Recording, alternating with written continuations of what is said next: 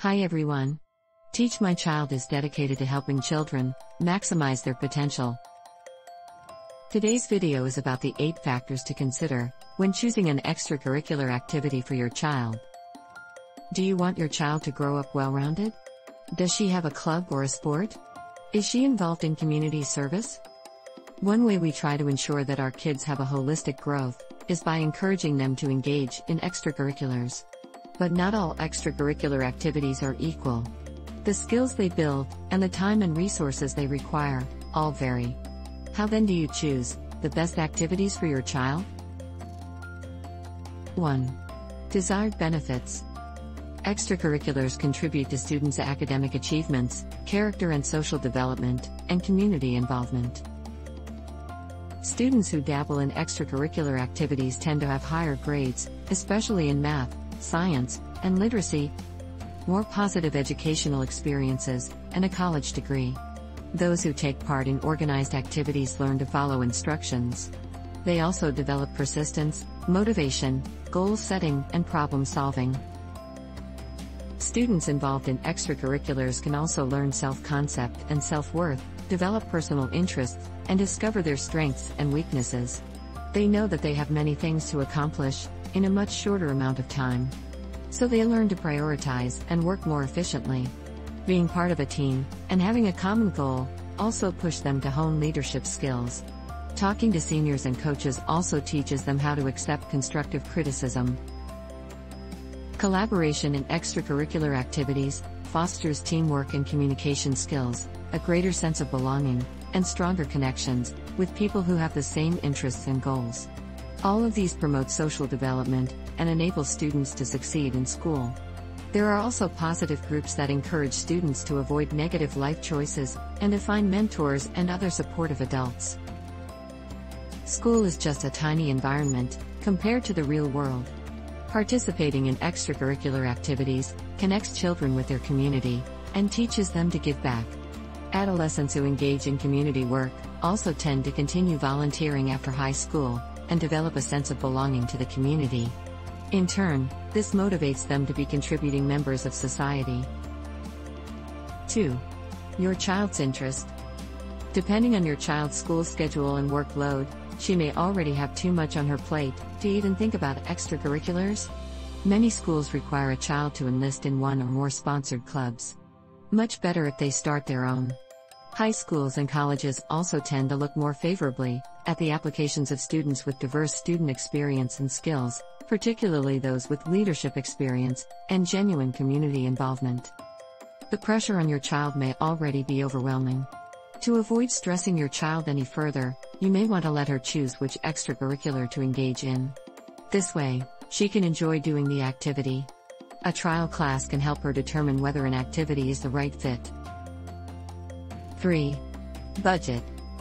Many extracurricular activities can cost a lot to engage in.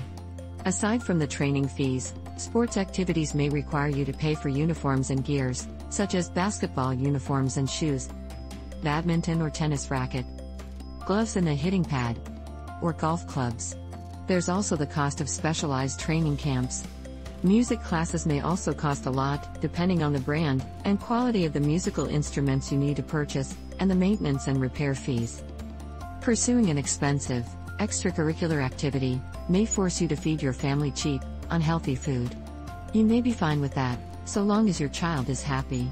But you also need to think about the impact of poor nutrition on the long term health of your child.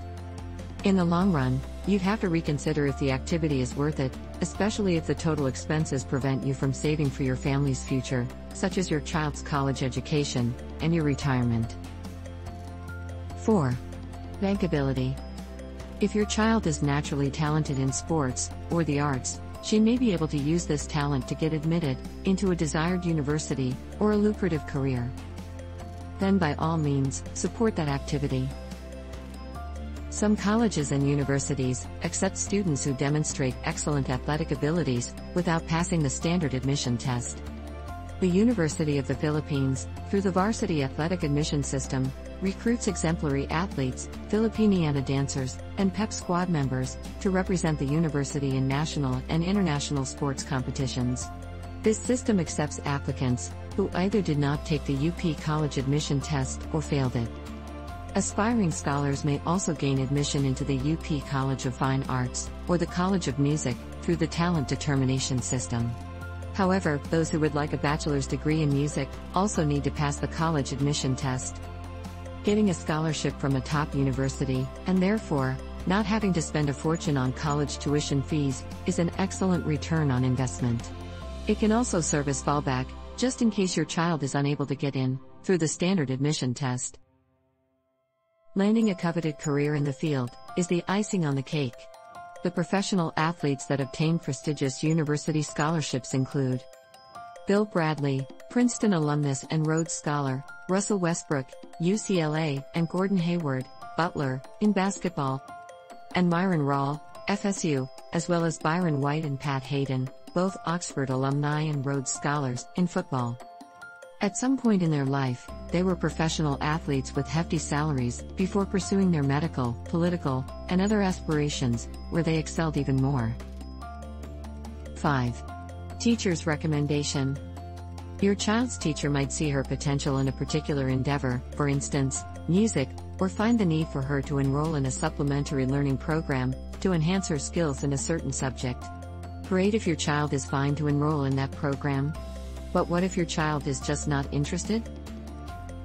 You can encourage her to sign up for and stick with that activity by having a friend that's also enrolled in that program, letting her engage in her preferred activity as a reward for doing the recommended one, and highlighting the benefits of doing that activity and the reasons why quitting is not an option.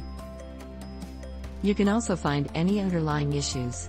Listen to your child when she says that she does not like the activity. Chances are, you may also have to read between the lines. Shoshana Dayanim, a developmental psychologist, suggests that your child may be trying to say, The instructor is going too fast for me. The coach won't let me play as much as I want to, somebody on the team is bothering me. I'm afraid to take part in a recital. The activity is too hard for me. I don't like to practice. Once you find the underlying problem, why your child wants to quit, you can try to resolve it by talking to the instructor or coach. Alternatively, you may choose not to intervene, and use this opportunity to build your child's grit and conflict resolution skills. 6. Accessibility and travel time. A study revealed that transport does affect the accessibility of extracurricular activities for high school students in Zagreb, Croatia. Some students, especially those living in the peripheral areas of Zagreb, could not participate in any extracurricular activity due to transport. While not all of us live in Zagreb, what you can take away from this study is the link between transport and the extracurricular activity. If it is difficult, if not impossible, for you to bring your child to her activity, perhaps because there are no available modes of public transportation to get to the activity, then it may not be a good choice for you. Also, even if you have a car, you would need to calculate how much time it would take for you to travel to the activity.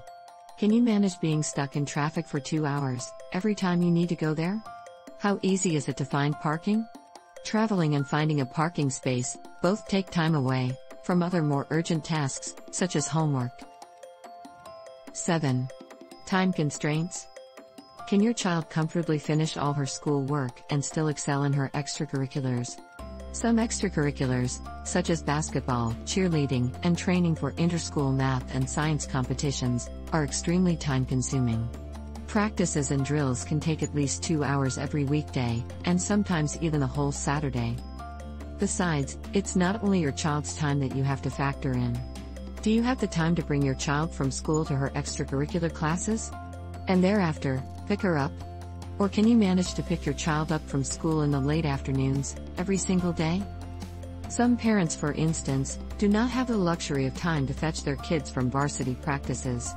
So some can only take part in time consuming extracurricular activities when they can already manage to go to and from these activities on their own. 8. Commitment requirement. Does the activity run for only a few weeks to a season? Or does it require more commitment? There are workshops and camps, such as writing, speed reading, basketball, swimming, theater arts, dancing, personality development, gardening, and DIY or crafts that run for a few sessions, to a month or two, especially during the summer breaks. On the other hand, there are also extracurriculars that your child can start in the summer and continue for years. These are activities that require serious commitment from both the child and the parents, even though fees are paid on a monthly or seasonal basis. These are the ones that don't just develop your child's skills in a particular subject matter. They also build character, such as discipline and grit, and life skills, particularly time management. It is crucial to know which activities are only good to take during summer breaks, and which ones are worth investing in, in the long run. Remember, as Viswanathan Anand, Indian chess grandmaster said, Parents, first and foremost, it is important to understand and recognize the activities your child is naturally gravitating towards. It's important also to ensure that your child likes what he or she is doing. I believe in exposing children to as many hobbies and extracurricular activities as possible.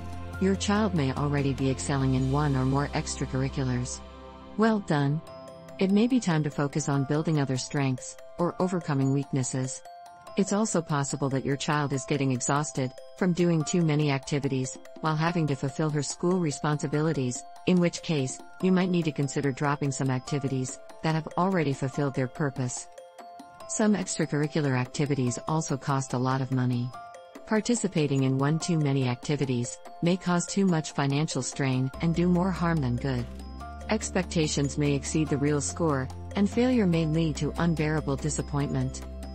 Bottom line, look at all relevant factors, particularly your desired benefits, your child's interest, and the required resources, before deciding on which extracurricular activity is best for your child. Sometimes, in our desire to help our child develop as many skills as possible, they are forced to do activities that they don't really like. They also miss out on rest and play. How many extracurricular activities is your child engaged in? Are you finding these activities worthwhile? Share with us your thoughts. Also, don't forget to subscribe for more ways on unleashing your child's potential. Like, hit that notification bell, and share this video and channel with others who also want what's best for their child.